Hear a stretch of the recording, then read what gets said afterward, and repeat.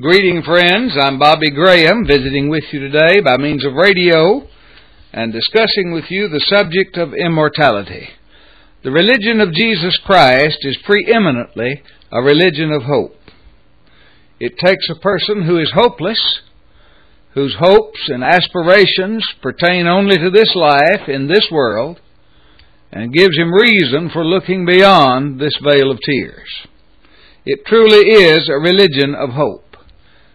The apostle Paul wrote in 1 Corinthians chapter 15 verse 19, For if in this life only we have hope, we are of all men most pitiable or most miserable. Paul was writing in this particular context to the Christians in Corinth, to people who had already been influenced, as it were, by some of the different strains of Greek philosophy. He was writing to them because their hope for a resurrection, their conviction regarding a resurrection, had already been eroded to some degree. He found them lacking in faith, even though they still believed that Jesus arose from the dead, and thus it was upon that basis that Paul proceeded to state his case for a general resurrection. They still did not believe in the general resurrection. And thus it was that he wrote to them as he did there in that 19th verse For if in this life only we have hope, we are of all men the most pitiable. A lot of people have a lot of aspirations for the future, don't they? You're among those, no doubt. There are those whose hopes pertain to a better job, a more wholesome health, a saner mind a more peaceful world, better family relations. In all of these areas, people's hopes exist. But these are hopes that relate only to this life. They're bounded by this world. That is precisely what the apostle was here describing. When he said if a person's hope is restricted to the hopes that he has for this world, in this life, then of course he is most miserable or most pitiable. The religion of Jesus Christ takes one outside this life and gives him hope for the life to come. Hope in the world to come, the glory world, or the heavenly world, as it were. When the Apostle Paul was making his defense before King Agrippa, as recorded in Acts chapter 26 at verse 8, Paul said to the king, Why should it be thought incredible by you that God raises the dead? Now, Agrippa already believed the prophets of the Old Testament. That much can be ascertained from Paul's preaching and from his statement or question made, his rhetorical question given to King Agrippa. But now he says, in this eighth verse, why should it be thought incredible by you that God raises the dead? Agrippa already believed in the God of the Israelites, the God of Abraham and of Isaac and of Jacob, the God of the Bible that we can read about. That God, my friends, has power unbounded. His power is unlimited, and thus we believe that that God of the Bible has the power to raise the dead. He has the power to bestow immortality. And that's what we're talking about in our lesson today. The chief object of the Christian's hope is the hope of immortality. We can as easily believe in immortality as we can believe in the existence of God Himself. It is no great task for the God described in the Bible to bestow immortality. In 1 Peter chapter 3 at verse 15, Peter said, But sanctify in your hearts the Lord God, and be ready always to give an answer to every man that asks you a reason for the hope that is in you, with meekness and fear. Always be ready, he said, with Christ at the center of your heart. Always be ready to give a defense the hope of the Christian can be defended.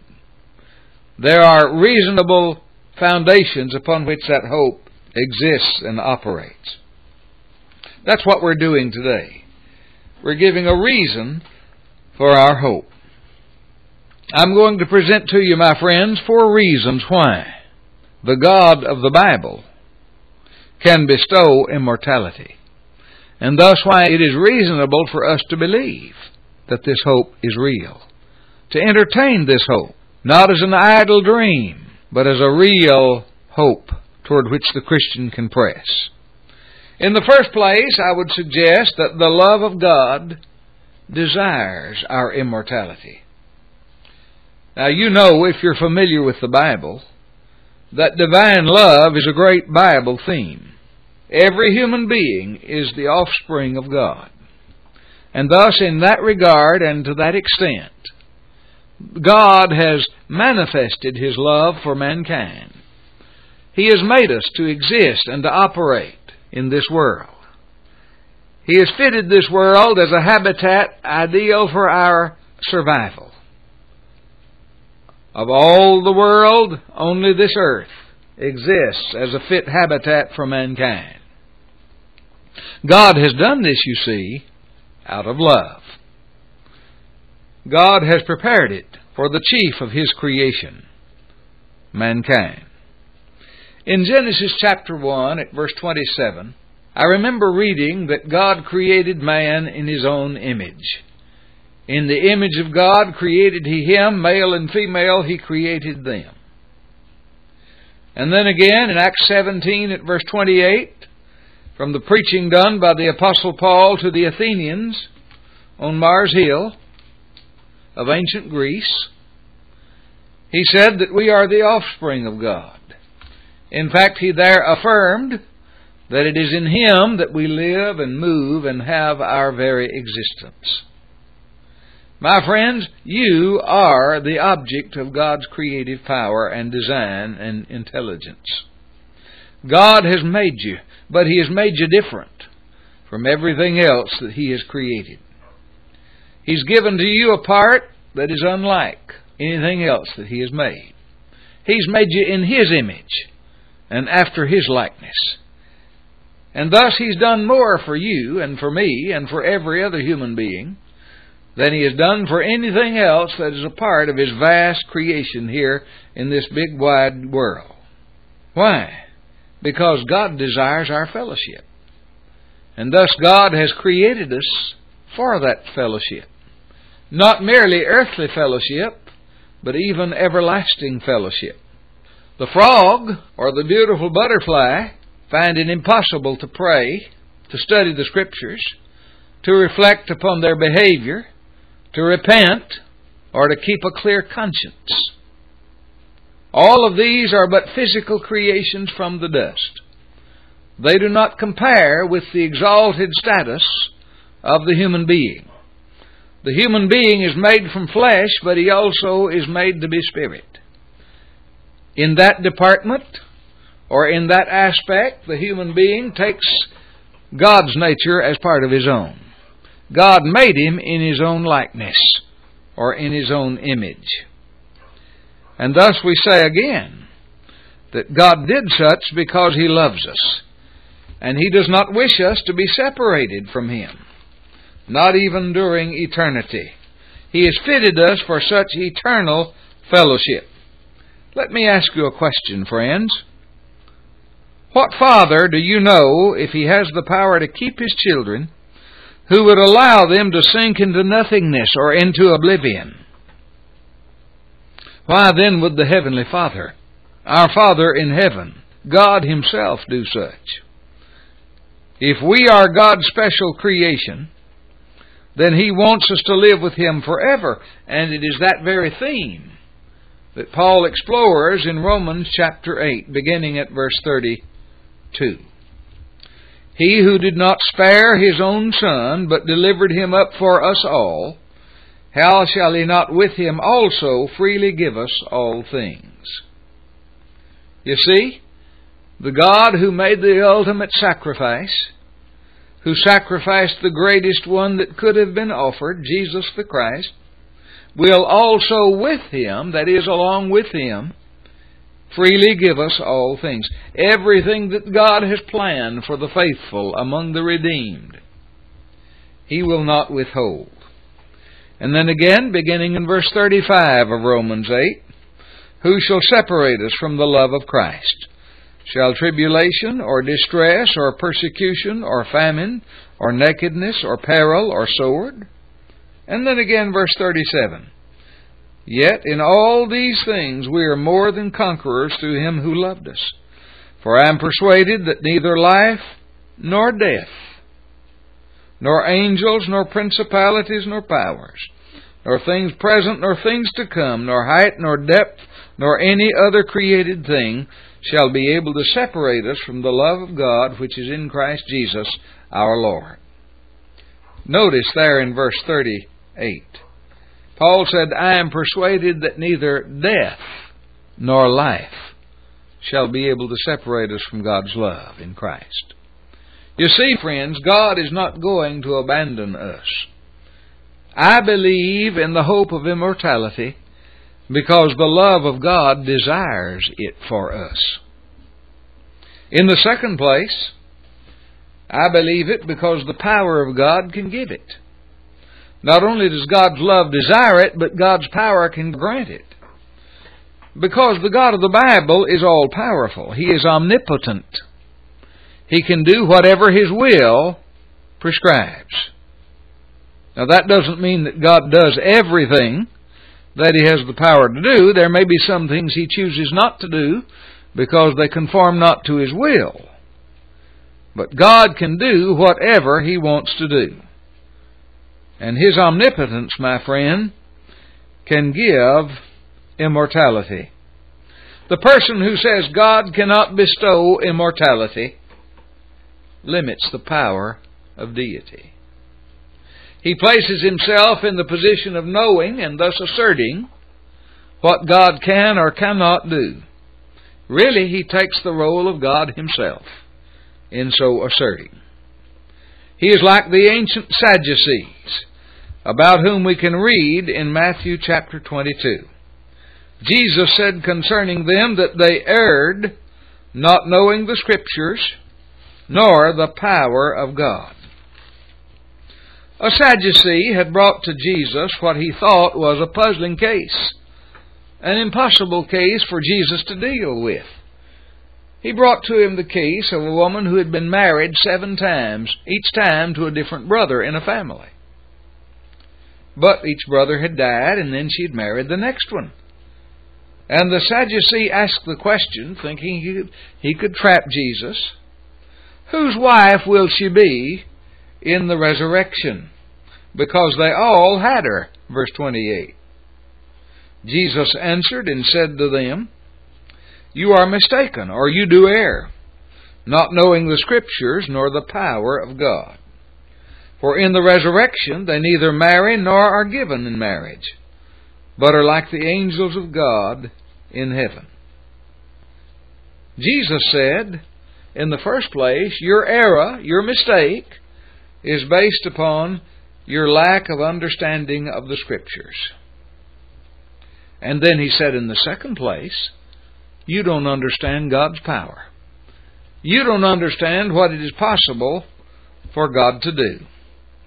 And then in the same context, he said, concerning the resurrection of the dead, verse 31, Have you not read what was spoken to you by God, saying, I am the God of Abraham, the God of Isaac, and the God of Jacob?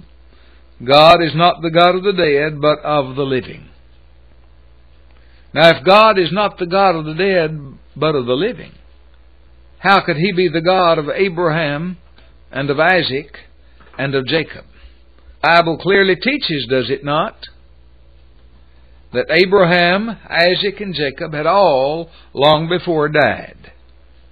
Certainly that is the case. And yet Jesus said, God is not the God of the dead, but of the living. Yes, Abraham, Isaac, and Jacob had died in the flesh, but their spirits, their souls, had survived. That's the eternal part. That's the part involved in which God gives immortality. That's the point of the passage, you see. Jesus expected his audience, in this case the Sadducee, to draw the conclusion, the necessary conclusion, the necessary inference, that Abraham, Isaac, and Jacob were yet living.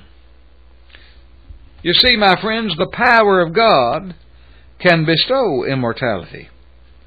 After all, if God created the world, made man and all living things, if He gives to all life, breath, and all things,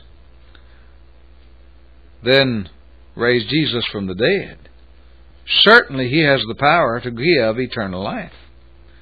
If He can uphold and regulate the vast universe, it is no task at all for Him to cause us to live forever. And seeing that He gave us this present existence, how shall we doubt His power to give us another existence, even an eternal one? By virtue of His own resurrection from the dead, Jesus Christ possesses the key of death and of Hades. Listen to him as he speaks in Revelation chapter 1, verses 17 and 18. I am the first and the last. I am he who lives and was dead, and behold, I am alive for evermore. Amen. And I have the keys of Hades and of death. Observe, first of all, that this is spoken by one who himself had died, but had come back to life. One who had arisen from the dead. But such is true not only of him, but also of others to whom he will grant the same opportunity. The Bible says all that are in the grave will hear his voice and come forth. They that have done good to the resurrection of life, they that have done evil to the resurrection of condemnation. John 5, verses 28 and 29. The Bible also says here in Revelation chapter 1, in the verse following, that Jesus has the keys of Hades and of death. That means he has the control. He has the power over Hades and over death. Jesus Christ, my friends, has the power to give immortality. And so I believe in the hope of immortality because the love of God desires it and because the power of God can give it. There is a third reason, though, why I believe in the hope of immortality, and that is because the justice of God demands it. This life is filled with vast inequities. Often we observe the wicked being more highly favored than the righteous or the just. A moral God must have a law of compensation, and He does. Inequalities must be adjusted. Virtue must be rewarded. Vice must be punished. If there is no hereafter, if we die and then just go out of existence or exterminated or are annihilated, then how is God going to adjust these inequalities? You see, the very principle of justice on God's part demands that there be the hope of immortality for the righteous, for the redeemed. I read to you Psalm 89, verse 14. Righteousness and justice are the foundation of your throne. Mercy and truth go before your face. The very foundation of God's throne, that is the basis of His rule, the basis of His reign over the world, over the universe, is righteousness and justice. Now, justice involves God giving unto man what man is due, what man deserves to have. I am thankful that the justice of God does not pre- present the entire picture, though, because God is also merciful. And thus the mercy of God will temper the justice of God, so that the faithful in Christ Jesus will be granted eternal life. Immortality will be theirs to enjoy. What recompense does the righteous person have, though, if there is no eternal life or no hope of immortality? What reward, for instance, does the Apostle Paul have for his chains? Or does Stephen have for the suffering that he experienced as the stones were pummeling his body? What punishment is there for the vile person? Should a wicked ruler like Nero be able to wade through innocent blood and go unpunished? And what about a man like Hitler, whose designs were to exterminate a race, it seems? Shall Hitler and his victims share the same fate, the identical fate of extinction? Now that's what many tell us awaits us. They say there's nothing beyond the grave, there is but extinction or annihilation. Well, if that be true, my friends, then the justice of God has no place for being meted out. God's eternal justice cries out for another existence, an eternal one, so that adjustments may be made. When the justice of God can be measured. And in the words of faithful Abraham in the Old Testament, Genesis 18, at verse 25, we raise the question Shall not the judge of all the earth do right? And so you see, immortality is required because the love of God desires it, the power of God can give it, and the justice of God demands it. There is one final consideration and reason why I believe in the hope of immortality, and that is the faithfulness of God will bestow it. Immortal life is a divine promise. Hear the Savior as he stood near to the grave of Lazarus in John chapter 11 at verse 25. I am the resurrection and the life. He who believes in me, though he may die, yet he shall live. Think about it, my friends. Jesus promises immortality. In John chapter 14, at verse 19, near the end of the verse, hear the Savior again. Because I live, you will live also. It is no wonder that we have Jesus Christ as a pledge of immortality. In 1 Corinthians chapter 15, the passage with which we started on the program today, the Apostle Paul makes the very point that Jesus Christ, by his resurrection from the dead, has become the first fruits of those who have fallen asleep. That's 1 Corinthians 15, verse 20. The analogy here is between Jesus and the hope that he gives us for our future resurrection to the hope that was raised whenever the Israelites brought the first fruits of their harvest in and gave them unto God as a pledge or as a promise that when the rest of the harvest was finished, the Lord would then receive the rest of his part. Jesus became the first fruits. Just as there was the first fruit from the harvest, even so Jesus is the first fruit of the resurrection and serves as a pledge or as a promise that we too shall rise. What a great thought it is. God did not merely tease us with this hope in order to mock us later. He did not make a promise along this line merely to elicit false hopes. God always keeps His promise. God is not slack concerning His promise as some men count slackness, wrote the Apostle Peter in 2 Peter 3 at verse 9. Whatever God has promised, that he will do. You see, my friends, when the light appears in the eastern horizon, we know that the day is near. When the warm, gentle breezes blow here on earth, we know that springtime is at hand. When the flowers bloom, we know that the time of fruitage is near. And because of the promise that God has made and the pledge and promise that He's given us in the raising of Jesus from the dead, we can know beyond doubt that a happy or a blessed immortality awaits the faithful over there.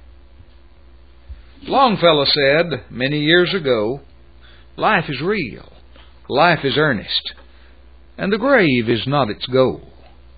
Dust thou art, to dust returnest, was not spoken of the soul. Truly, in the words of Paul, found in 2 Timothy chapter 2 at verse 10, Jesus Christ has brought life and immortality to light through the gospel. And then, just two verses later, after talking about that accomplishment on the part of the Lord Jesus Christ, Paul said in verse 12 of 2 Timothy chapter 1, I am not ashamed, for I know whom I have believed, and am persuaded that he is able to keep that which I have committed unto him until that day. Truly, the firm persuasion of Paul can be yours and can be mine. We have the genuine hope of immortality if we hold fast in faith to the Lord unto the end. We thank you for joining us on the broadcast today.